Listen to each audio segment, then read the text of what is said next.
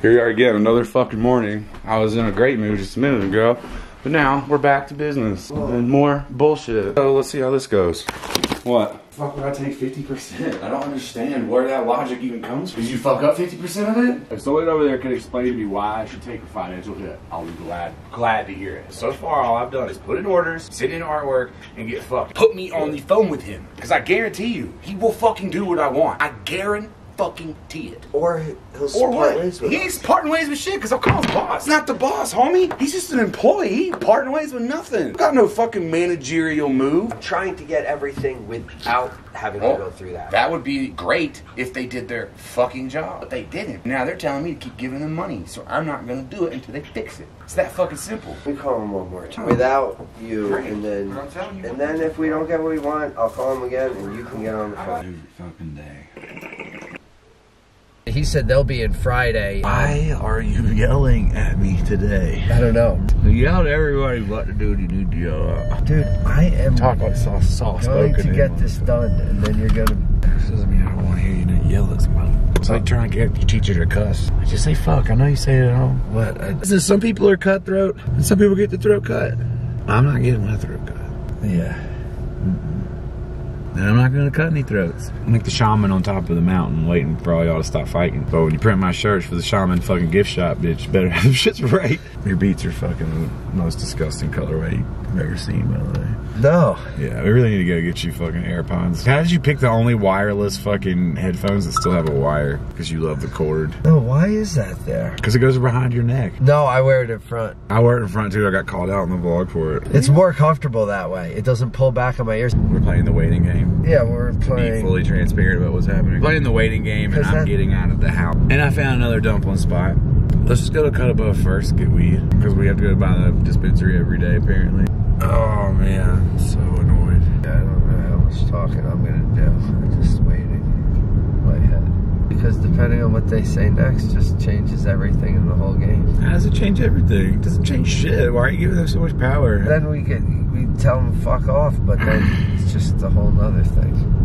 We don't ever have to get to a point where we say that. Like straight up, you're not gonna when get you my take the phone business. from me, you weren't gonna. It seemed like you would have said anything at that. it doesn't point. matter what it seems like I'm gonna say just because I'm mad. I'm not a fucking idiot. I know how to do business, get people to do what I need them to do, and articulate myself when I'm fucking angry. So I it doesn't know. matter what you're afraid I'm gonna say because I'm venting to you. It doesn't have anything to do with I'm Never sure. guidance counselor. How many fucking relationships have you seen me fucking burn down? None. So what are you talking about? Yeah, I guess. I'll just put it to him in a way that he'll understand and be like, no, it won't be nice, but at the same time, like that's why I'm not with Sager. So when someone else fucks it up, I can yell at them because it's their job. Hold on. That's how fucking tell him. What just happened, Ern? Hold on. Tell him, Ern. You might be switching printers. Why, Ern? Um, you're making me nervous here. Who just got a phone call? Um, you did from our friend around here, and now I have a whole new dilemma of something I I gotta ask for though. Now, see, this is where I get thrown off because now my whole cutting this. We got shit to talk about. Like I don't even want to have to edit through later. Basically, Superior, who we've printed with before, who we printed with in the beginning, first waves or anything that was crazy, holy cry. All the like really high tech printing, which we love, it just got to the point where the relationship between Superior, Sager, and myself was just too crazy, and I needed time to back off. And I tried to get back in touch with Superior. I had to call him a few times. So now he called back and he's ready to work for Godzilla and get this handled in a manner that needs to get handled. I told the universe is what I need done. What? I'm, I'm I'm very excited about this. This has just been a long two days. It's been a lot of up and down here. I'm just riding the. Riding the Teddy wave. Being mad is fucking being mad, but I kept saying to you, I'm not gonna, I'm not arguing about this today. I'm just gonna find the fucking solution. There's a solution. And the solution is not listening to somebody tell me that the reality is not what I say it is, bitch. Like, is my world. It's whatever I say it is. And if it's not, I'll make it that way. And that's just like how it has to be.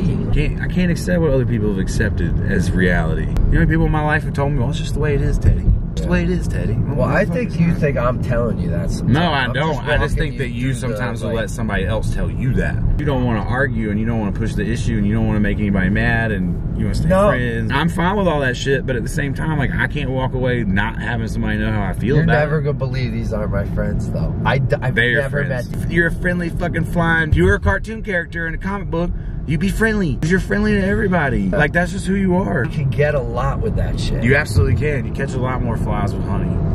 Know what Yeah. I'm saying? Absolutely. But I'm not. Hoping that I'm this not, email strikes a chord and these guys go, you know what? I'm This is a hoping so good too, but you were nervous. The difference is like you're hoping it strikes. I hope it does too, because I would love to keep a solid relationship with everybody that I meet. yeah. But I also don't care if they're gonna drop the ball on me and they're not gonna value me and my relationship. Well, I also like this backup plan gives me a lot more confidence to go. you should right, have that now I can confidence. You should have that confidence at all times. You always have a backup plan. You always have a choice. Yeah, but there's timelines. Like it makes it. There are to timelines, but at the end of the done. day, you just give now the timeline's even faster. You always have control. You just want something. And I want it too. It's nice to make money and make profit, but not if you're not offering out what you promised. Especially not to our fucking friends and family. I get it, and that's what I made clear.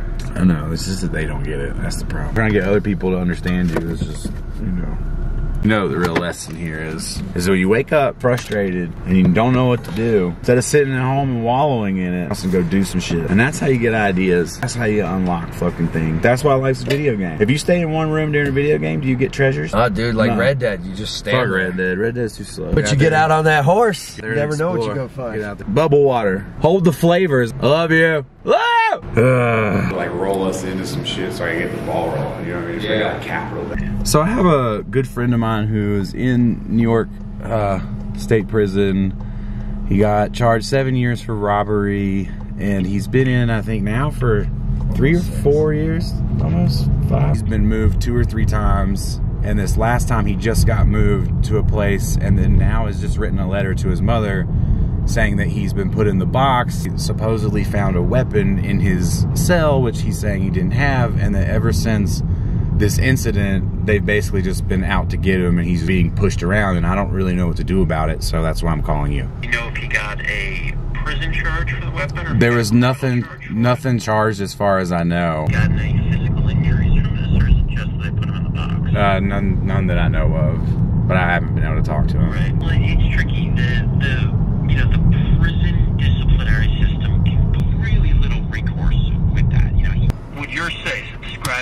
like the kind of things that they're not supposed to do. It's totally unprofessional. It's wrong that they're doing it. It doesn't sound like he has a lot of recourse in the legal system. Right, and that's all I really wanted to reach out is if there was some way for me to do something, I'd do it. Appreciate your insight. I just wanted to see if there was some recourse or if I just need to try to get in touch with him and tell him to Sure, I hold mean, his the head. one But who does want to bring a lawsuit about anything that happens in prison, he needs to file a grievance as soon as possible. Hey, hey, Bernie, it's Teddy. hey, Teddy, how are you? I'm good. How are you? I'm not doing good. I know. I heard. I heard it's not. It's not good. I'm not happy either at all. Not one bit. I just got off the phone with a lawyer. There's not anything we can do, whether they're lying or they're not lying, which they are most likely lying. I know for sure they're lying. I do too, because that's not.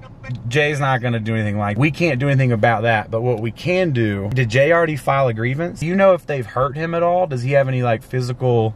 He didn't say that. Okay. I'm gonna take a picture of the letter and send to you guys. As long as that grievance is filed, if anything happens from this point on, at least we have record of that with the system. They physically harm him in any way, we can sue them. Right now, it doesn't seem like he's gotten any criminal charges out of this. If if they try to bring him any criminal charges, at that point, I will hire a lawyer. I'll be down there in two seconds. You don't need to worry about that, okay? Thank you. Yeah, so I don't want you to worry about any of that stuff. I know all the information. I just need to wait to hear from Jay. Can he get letters while he's in the box? Yeah, he's, uh, he just asked me to send him some money to buy stamps. Send me everything that he sent you so and I'll make sure he gets some money for stamps and everything too. And I'll also write him a letter and just explain to him. But I got it, Bernie. Don't worry, okay? Thank you so much. I appreciate it. Thank you. Of course. All right, love you. I hope you have a good holiday. Thank you. Thank you. You too. If you need anything, call me. I don't care what time it is, all right? Thanks a lot, Teddy. I appreciate that. Of course. Thanks. All right. Bye-bye. Bye. All right, let's go eat dumplings. Jesus. It's such a small little place, dog. Closed on Monday and Tuesday, but it is Wednesday. Looks like it's not closed for good though. I mean, the tables are set. There's sauce on the table. Today is crazy, homie. I just want to go home. Today is just full of surprises. Uh, shit just keeps fucking happening, I guess. Yeah, man. So one problem gets figured out, and then another problem, which is a much bigger and humbling problem that makes all this other shit this shit seem pointless. If those of you that don't know, my friend Jay Ditty, you'll you'll hear me refer to or have referred to a lot, and he's gonna come home soon. But he's in prison. He's in prison for robbery. He did some stupid shit, a lot of stupid shit growing up. We talk every day. Me and Ern paid for his lawyers. We take care of what we can take care of while he's away. So this is a very big deal to me. It's like the reason that any of this exists because I got so fucking angry and frustrated as someone who's literally a product of their fucking environment has been used and scapegoated and rewarded for being violent and then uh, had everyone just turn their back on him. It's a very important thing to me. Like his safety is important to me and his ability to come home to a fucking like fair shot is important. To, and I don't feel like he's ever gotten that. Cuz I haven't heard from him since before Houston, which isn't normal at all. Kind of got worried, thought something was happening, and of course, something happened. Two months ago, he got into a, situation with an officer and then he got put in the box. And then after he got put in the box, he got moved. He got moved. I just talked to him. He just got moved to a new place. And apparently, they moved him again. And when they moved him again to this new place that's damn near in Canada, Albion, New York, or some shit, they try to say he has a weapon. One isn't possible. Jay doesn't need weapons. Jay's never been one to carry. Jay is a weapon. Jay wanted to hurt you, Jay would hurt you. Trust me. My dog doesn't need a weapon. Any of those COs out there need their weapons if Jay wants to throw a fist in their direction. That I can promise you. So I know for a fact my brother didn't have no fucking weapon in his cell. And that these COs just do this fuck shit, labeling my man as someone and then trying to push him further fucking himself up eh, or getting more criminal charges, which files under further fucking himself up. His mother's worried. His mother's not doing well with the information. She just wants her son home. It's the holidays. It's not cool. Jay knows he fucked up, but uh, like this shit just like has thrown me off now. We figured out a bunch of stuff with business. We rekindled a business relationship that is going to make everything easier now because now Superior has chilled out because they got super busy doing stuff for Spyder, the ski company. We now have figured out our garments and everything is going to work. Got that figured out. Then comes the fucking yang of the day where figuring out clothing and talking about high end clothing and 400 GSM and there's a wall full of shoes. And my homie is in a fucking box It's 4x4 with a metal toilet wearing the same bullshit and uh, being told what to do by people who think that they're doing a good job or whatever the fuck. Like, that's my bro, man. Always someone's bro. It's somebody's fucking son, somebody's dad, most likely. That's somebody's brother, sister. Like, fucking people just treating motherfuckers like shit. Like, I get it. People make mistakes, and there's some awful people in prison. Prison's a fucking sensitive subject anyway, but damn, dog. Really? You know, it's like petty shit. Like, that's my brother, and he's gonna come home and we're gonna kill it. And you're still gonna be working at a fucking jail. You know what I'm saying? And there's no no diss to the people that work in jails, but like, yo, if you do work at a jail, I hope you're one of the ones that try to like make friends with these people, man. So my bro Jay needs friends. He doesn't need people fucking with him. You know what I'm saying? Like he needs people to show him that the world is a better place, not that it's full of people that want to see him fucking fail. It's just a rough day now. Like it's not gonna be rough. Like I can get my business done. It's like bummed, man. Like it's hard to enjoy this shit, and that shit's happening, and then it's that evident. It's cool when I talk to him. We're able to just talk, and he's able to not. You know, I'm able to bring him out of jail for a minute in his mind. It's like we're chilling, but when there's like that cold hard reminder that this shit is just fucked, and that my homeboy hangs up the phone, and he goes back to the bullshit. He goes back to being someone that he doesn't even want to be out of survival. Like it makes me fucking sad yeah, that's where we are today. You know, that's what's going on. What I can, there's obviously nothing that can be done. Um, the only thing I can really do is try to like keep my man's head up. So,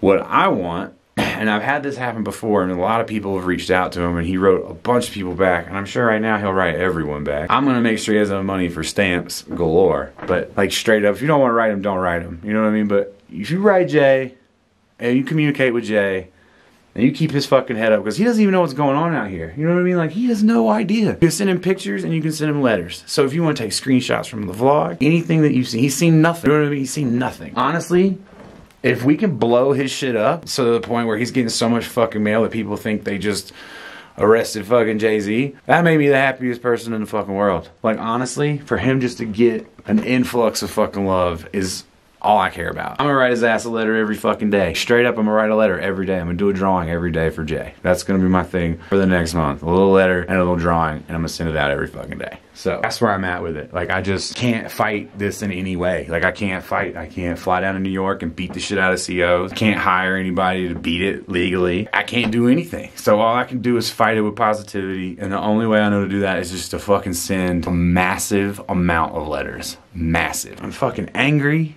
You know, it makes me like evaluate the world. It makes me get so mad at the fucking world about certain shit. It doesn't get me anywhere.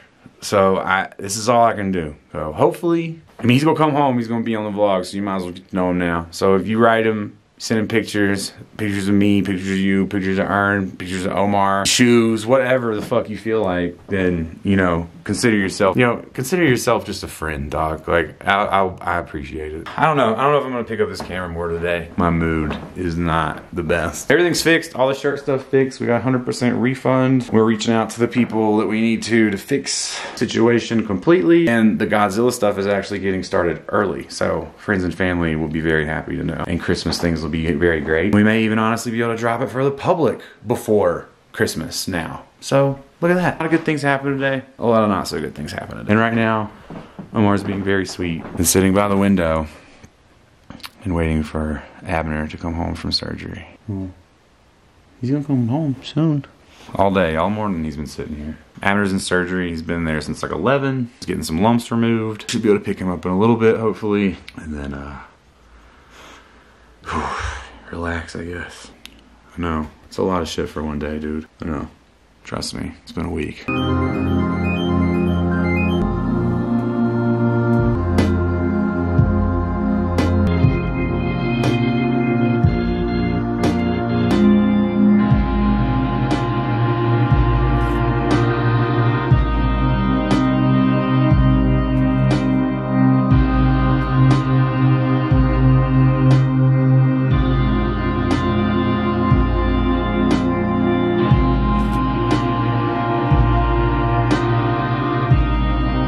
Day.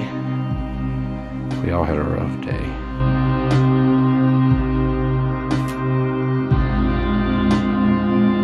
Did I tell you they showed me and sent me a picture of the mask? Ugh. It was, um. he was basically growing a little Lewis inside of him. That's It was It disgusting. was like over a I'm gonna throw up. Okay, I'm gonna throw up. That, that's enough for me today. Goodbye. I'll see you guys tomorrow.